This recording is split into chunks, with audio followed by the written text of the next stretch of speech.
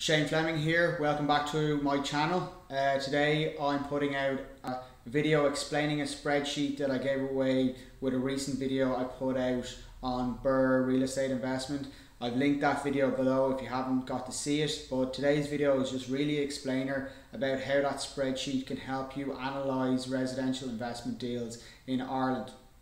But make sure you stay watching until the very end to see how you can get your hands on that spreadsheet too.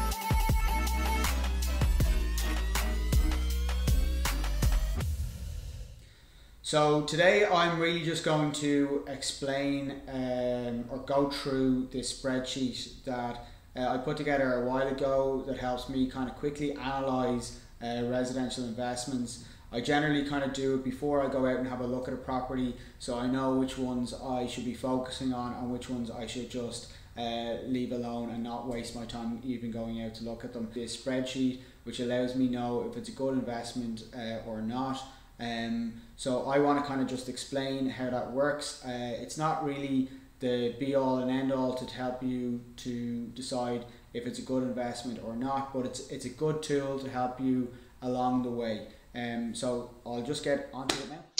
So this is the spreadsheet we use for residential investments under 1 million uh, here in Ireland. Uh, it's a spreadsheet which we put together and we sent out there recently. So this is kind of just an explainer on how the spreadsheet works and how you can actually analyze some of your investments.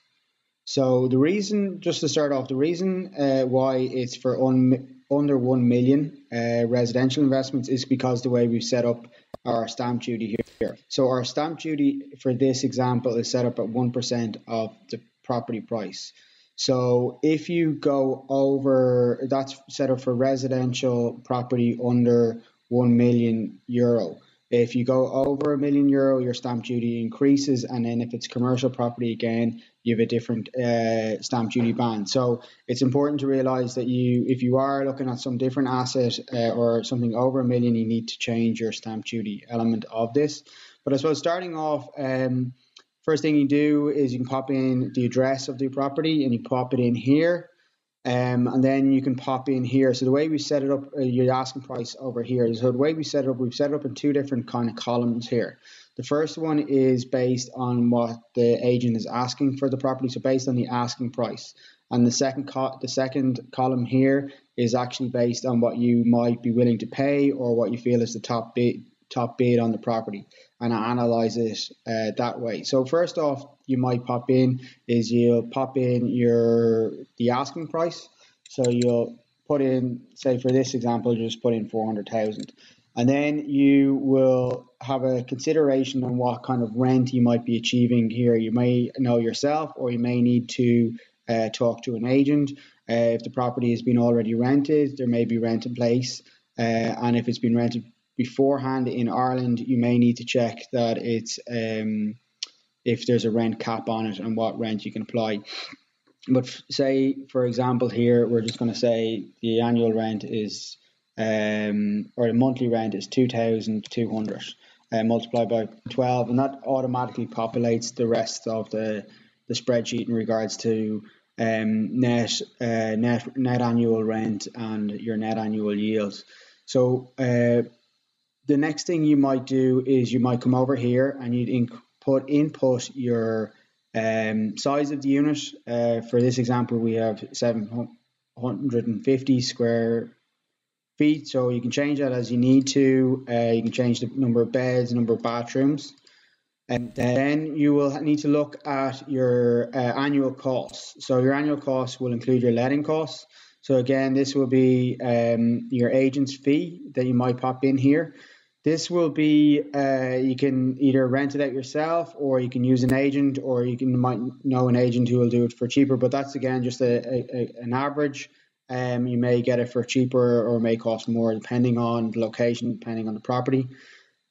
If you are advertising, this is the kind of your your base uh, level advertising rate. If you're using Daft, you may need to change that uh, depending on where you're plan to put your advertisements or if you're putting up signboards.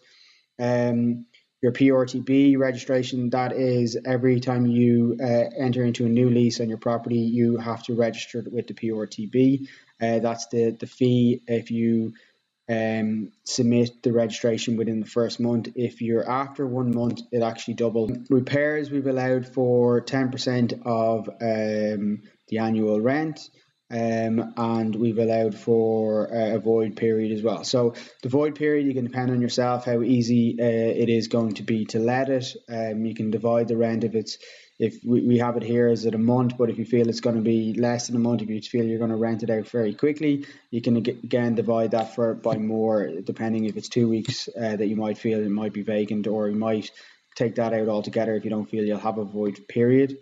Then your annual cost that um, you will need to allow for, especially within apartments, you'll have to allow for service charge.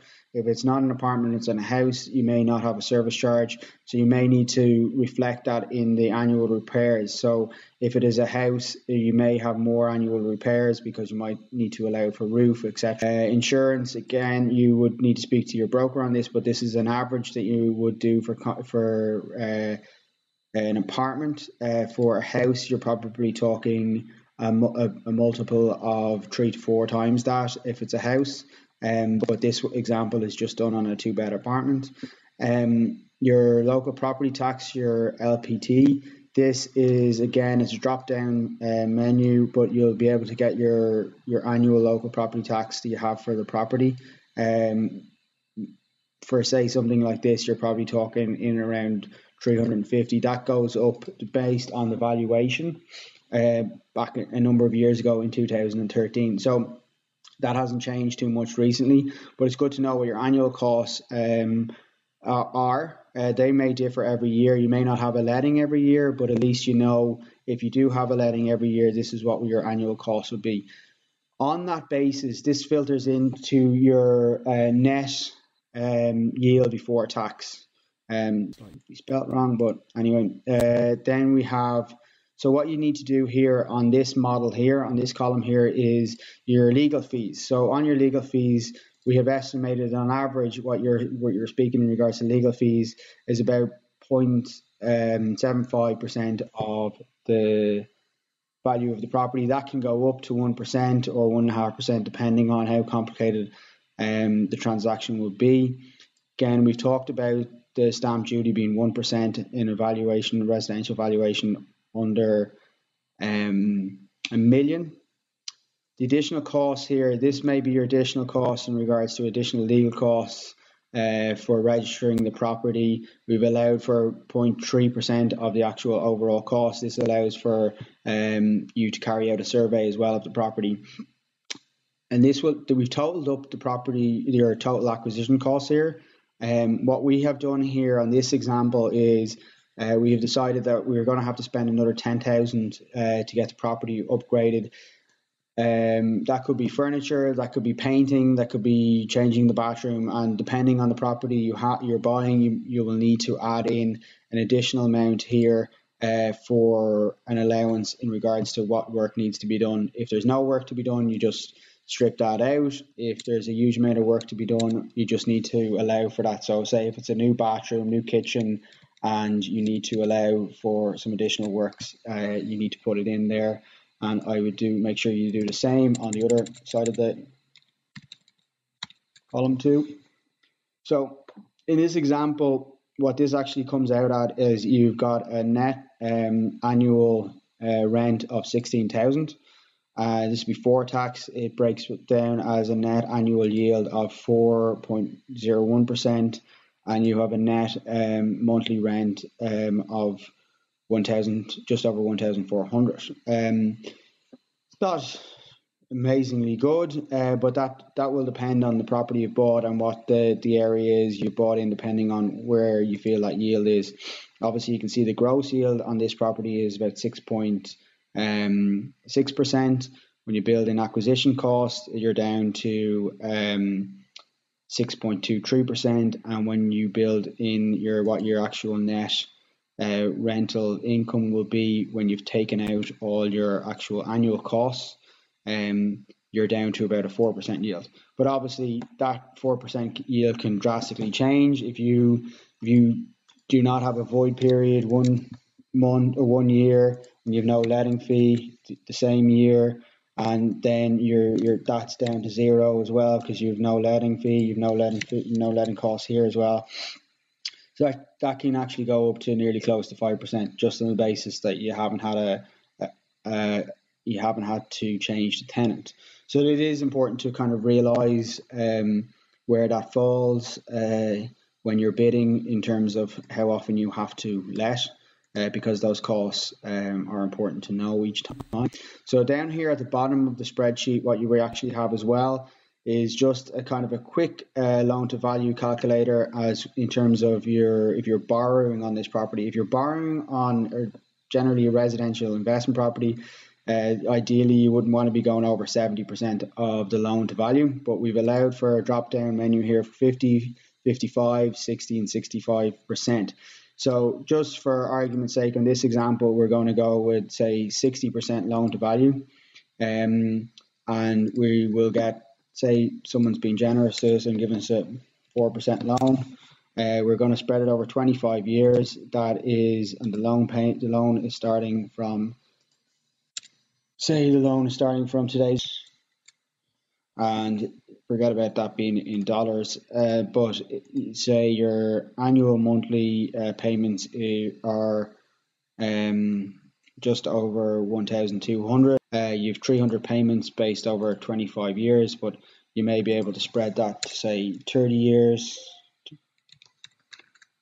And that will drastically change your annual monthly payments same with your interest rates will also dramatically say if that's 3.5%, that will again drastically drop your monthly payments. Um, but you, obviously your monthly payments go up as well as your total interest paid. So this is just a kind of a, a quick kind of tool. Obviously you'll need to speak to your bank uh, or lender to, to get exact details on what you can actually achieve here but um, your loan to value uh, ratio, your annual uh, interest rate, your loan period will actually have a huge impact on what your monthly repayments are, as well as your total interest paid. So, uh, but this is just a quick example. Analyze um, a property investment here in Ireland, a residential one. So, if you quickly, it's just a quick tool for you to look at some property investments that you may be thinking uh, of looking at, and it's really realistically it's just a tool to give you um, some some kind of help to see if you're actually going to go ahead and examine a property in more detail. So uh, thanks for watching all the way till the end. Uh, that may have been a little bit tedious, but again, it's just a kind of introduction tool about helping you decide what kind of properties to go after or, or which ones just to ignore completely. Uh, because some are good investments, some are not, and some may fit into your investment criteria and some may not. But this is a quick tool that pretty much within five minutes you'll know if it's something you should be going after or not.